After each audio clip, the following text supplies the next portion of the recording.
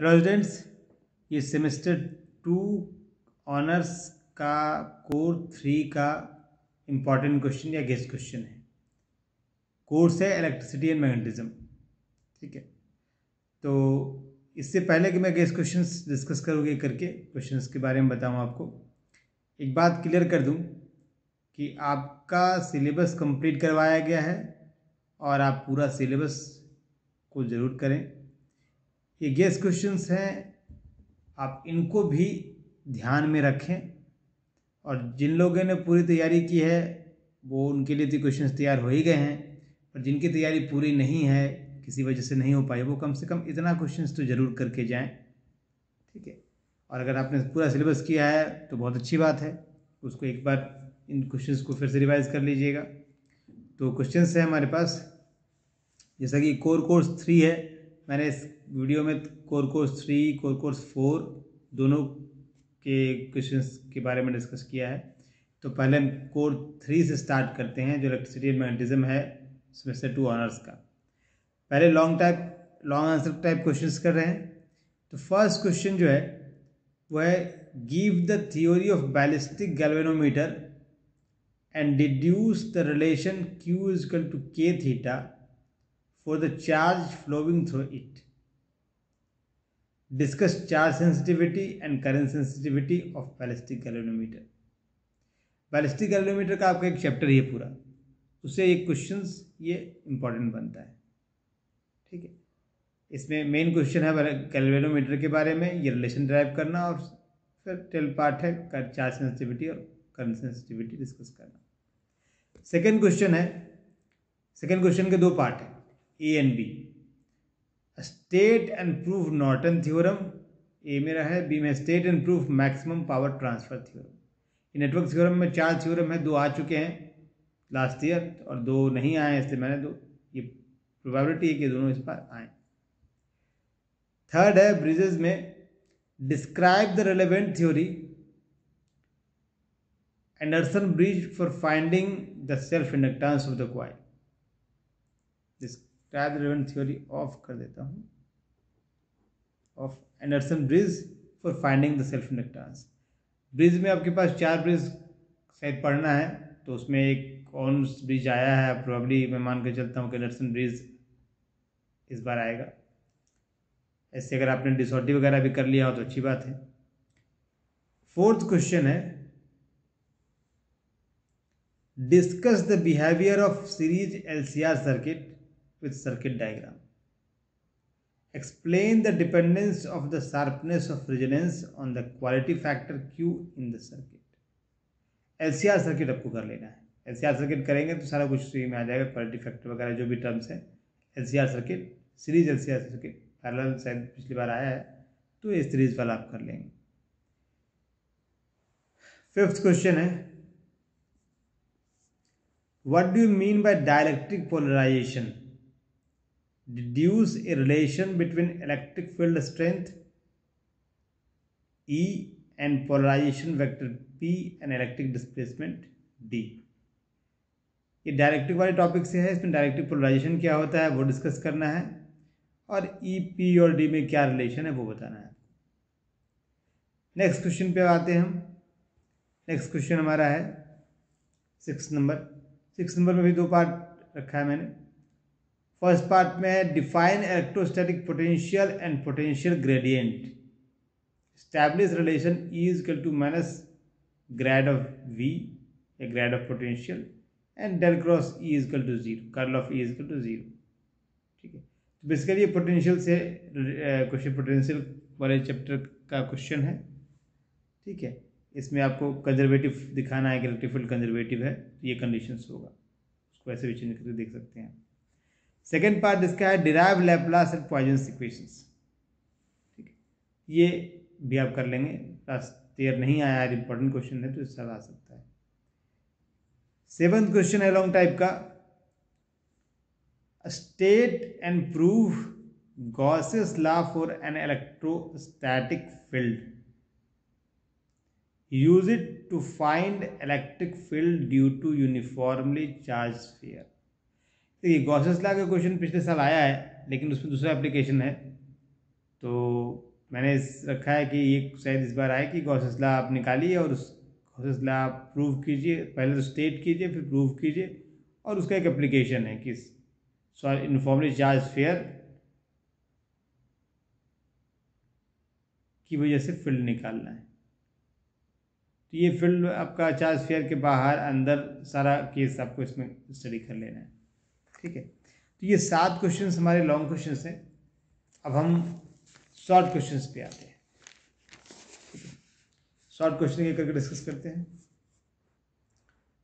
Short question में पहला question है deduce an expression for torque on current coil in uniform magnetic field अगर uniform magnetic field में आपने कर, एक क्वाइल रख दिया करंट करेंट क्वाइल तो उस पर टॉर्क कितना लगेगा? ये भी बैलिस्टिक एलोमीटर वाले ही चैप्टर का है ठीक है? अब जो बैलिस्टिक का इसी प्रिंसिपल पे बैलिस्टिक एलोमीटर वाला काम करता है तो इसे कर लेना है। अब थेवनिस और नॉर्टन्स थ्योरम लास्ट टाइम आया है लास्ट ईयर आया है तो उससे शॉर्ट क्वेश्चन हो सकता है कि what are the limitations of Thevenin's and Norton's theorem third question है what condition moving coil galvanometer behaves as ballistic what is the difference between dead beat and ballistic galvanometer galvanometer में आपके पास जो moving coil और ballistic दो तरह के हैं तो किस कंडीशन में मूविंग क्वाइल गैलोमीटर आपका बैलिस्टिक कन्वर्ट हो जाएगा? और डेड बीट और बैलिस्टिक में डिफरेंस क्या है? इसको ध्यान कर लेना। फोर्थ क्वेश्चन है explain three phase electricity supply तो थ्री फ़ेज़ इलेक्ट्रिसिटी सप्लाई है, इसमें आपका डेल्टा स्टार कनेक्शन पिछले साल आ गया है तो उसका नोट्स के में आ भी सकता है। तो अगर मैंने नहीं लिखा होगा उसे लिख दूँगा। और ये three phase electric supply current वाले पार्ट में है, वो देख लीजिएगा। फिर what is conservative field give an example conservative field के लिए क्या कंडीशन होती है? Divergence of E curl of A zero होना चाहिए। ई e को आप negative of grad of potential के टर्म में एक्सप्रेस कर सकते हैं। आ, आपका जो फ़ील्ड फोर्स है वो आपका फ़ील्ड जो है वो पाथ इंडिपेंडेंट होगा। ठीक है? तो ढेर सारी चीज़ें इसमें है। तो अब ये जो क्वेश्चंस मैंने पहले भी फुल क्वेश्चंस में लॉन्ग क्वेश्चन में भी कर रखा है। ठीक है जो पोटेंशियल ग्रेडियंट वाला पोटेंशियल वाला क्वेश्चन है। तो ये आपको इंपॉर्टेंट है what is the conservative field give an example उसके बाद लास्ट शॉर्ट क्वेश्चन है explain ideal constant voltage and constant current sources ideal constant voltage source and constant current source क्या होता है? उसके बारे में डिस्कस करना है। अब नो, कुछ नोट्स में आ जाइए। नोट्स में है star and delta connection of three phase power supply ये पिछले साल फुल क्वेश्चन में आया तो साल हो सकता है नोट्स के रूप में आ जाए। ओन्स ब्रिज इसके अलावा अगर आपके पास ओन्स ब्रिज कर रहे हैं अंडरसन कर रहे हैं तो डिसॉटी भी तैयार होगा तो कर लीजिएगा। क्योंकि तीन में से कोई, तीन, चार चार ब्रिज है, चार में से कोई एक तो आना ही आना है। एंड ऑन्स सबका लास्ट ईयर आया है तो नर्सन मान के चलते हैं। और अगर आप डिसॉटी कर लेंगे तो अगर डिसॉटी भी आता है तो कर सकते हैं। ठीक है। एक यूनिकनेस थ्योरम है, इस पर भी नोट्स लिखना कर लीजिए रिप्लेस थ्योरम आपका वही लैपलेस वाले चैप्टर से लैपलेस प्रेजेंस लॉग वाले चैप्टर से ये। Growth and decay of LCR circuit ये ट्रांजिएंट सर्किट का क्वेश्चन है। ट्रांजिएंट सर्किट में ग्रोथ एंड डीके ऑफ़ जब करेंगे तो एक बार एलसी सर्किट है एलआर सर्किट है सीआर सर्किट है और एलसीआर सर्किट है। तो पूरा देख लीजिएगा एलसीआर में एक कीजिएगा तीनों ही आ ही जाता है। अगर ये आप कर लेते हैं तो वो दोनों भी याद हो जाएगा। फिर मल्टीपोल एक्सपेंशन मल्टीपोल एक्सपेंशन थोड़ा देख लेना है। इन कॉमन उसके बाद electrical susceptibility and dielectric constant या परमिटिविटी दोनों की चीज़ें इस पर ज़रा देख लीजिएगा इसको तो इस तरह से हमारा सेमेस्टर टू का कोर कोर्स थ्री का सारे इंपॉर्टेंट क्वेश्चन हमने आपको बता दिया। बट ध्यान रहे कि मैंने अगर लॉन्ग में लिखा है या शॉर्ट में लिखा है या नोट्स में लिखा है तो कहीं भी क्वेश्चन आप ऐसे तैयार कीजिए कि सेक्शन अगर बदल भी जाए नोट्स वाला फुल में आ जाए शॉर्ट वाला नोट्स में आ जाए तो भी आपको कोई दिक्कत नहीं हो, ठीक है? तो इतने क्वेश्चन आप कम अगर आपकी तैयारी तैयारी पूरी अच्छी है तो इन क्वेश्चन को रिवाइज कर लें अगेन अगेन अगर आपकी तैयारी पूरी नहीं हो पाई एग्ज़ाम के पहले तो कम से कम इतना तो तैयार करके ज़रूर जाइएगा, ठीक है? ये कोर कोर कोर्स थर्ड है इलेक्ट्रिसिटी एंड मैग्नेटिज्म अब हम कोर कोर्स फोर की बात करते हैं, जो है वेव एंड ऑप्टिक्स तो उस पर आते हैं हम। ये आपका core course four wave and optics का गेस क्वेश्चन या इंपॉर्टेंट क्वेश्चन है। सेमेस्टर टू ही चल रहा है ऑनर्स कोर्स है। तो पहले हम लॉन्ग आंसर टाइप क्वेश्चन करेंगे। तो long answer type question discuss करते हैं। तो देखिए, पहला क्वेश्चन क्या है? देखिए लास्ट ईयर जो आपका फोर्स वाइब्रेशन आया हुआ है तो प्रोबेबिलिटी है कि इस बार डैम्प वाइब्रेशन आ जाए। इसलिए क्वेश्चन पहला ही रखा है मैंने। Explain damp vibration discuss its theory and mathematical analysis in detail what are heavy damping critical damping and light damping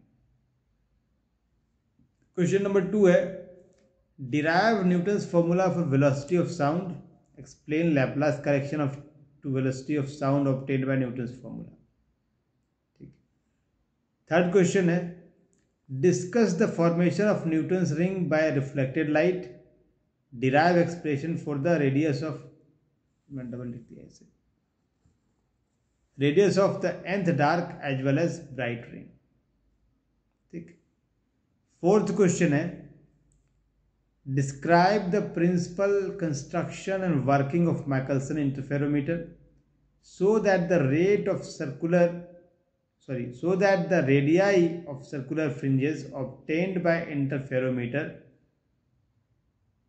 are proportional to the square root of natural numbers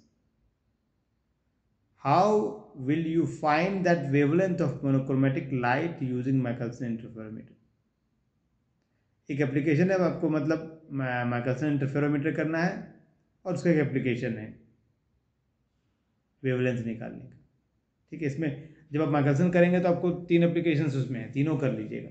एक मैंने लिखा है, इसके अलावा भी हो सकता है रिफ्लेक्टिव इंडेक्स निकालना है डिफरेंस ऑफ़ वेवलेंथ निकालना भी आ जाए। नेक्स्ट क्वेश्चन है fifth Describe the construction of plane diffraction grating and discuss with the theory how it can be used to measure the wavelength of monochromatic light.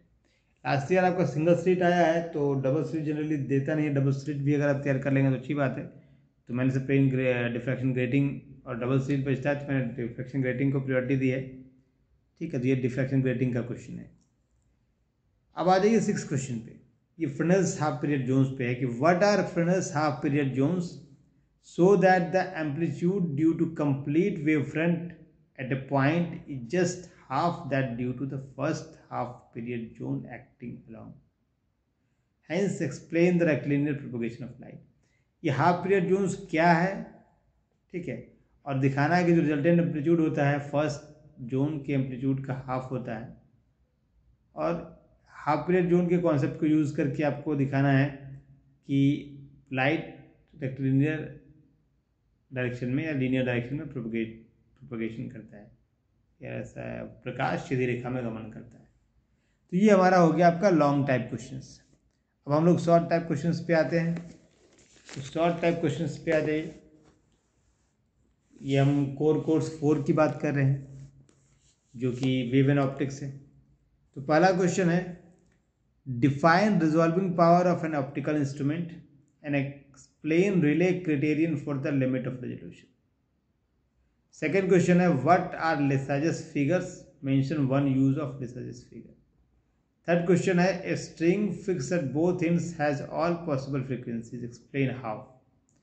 Fourth है compare the properties of zone plate and convex lens. Fifth है find the missing orders in the double slit diffraction pattern. Sixth है explain the visibility and sharpness of the fringe obtained with Fabry-Perot interferometer. Seventh है in Newton's ring experiment the fringes are circular with dark ring at the center. Explain it. Eighth question है explain quantitatively why different colors are exhibited by thin transparent film in white light. Ninth question है और आखिरी short question है आपका। So that reflected and transmitted interference patterns are complementary ठीक है। अब हम नोट्स पे आ जाते हैं। नोट्स में क्या है? पहला है थिन फ़िल्म इंटरफेरेंस सेकेंड है जोन प्लेट थर्ड है group and phase velocity and relation between group and phase velocity fourth है composition of two mutually perpendicular simple harmonic motions having same frequencies fifth है formula six है velocity of transverse vibration of stretch string velocity of transverse vibration of stretch string और seventh है resonance power dissipation and quality factor तो ये आपके तीन section में मैंने बांटा है। पहला long type question long answer type question है। दूसरा शॉर्ट आंसर टाइप क्वेश्चन है। और थर्ड है आपका नोट्स तो जिनकी तैयारी पूरी नहीं हो पाई है, कम से कम ये दोनों पेपर का इतना क्वेश्चन तो ज़रूर कर लें। थर्ड का जो बताया वो भी फोर्थ का जो बताया वो भी। अगर आपने पूरी तैयारी कर रखी है, पूरी तैयारी, पूरा कोर्स तो हमने क्लास में आपको ऑनलाइन क्लास में करवा ही दिया है। अगर पूरी तैयारी आपने कर रखी है, तब इसको फिर से एक बार इन क्वेश्चन को भी आप प्रैक्टिस कर लीजिएगा। चलिए, इसके साथ ही आपके एग्ज़ाम के लिए ऑल द बेस्ट और कोई दिक्कत हो तो कमेंट बॉक्स पर कमेंट करिएगा चैनल के। हम उससे ज़रूर रिप्लाई करेंगे उसका। चलिए ओके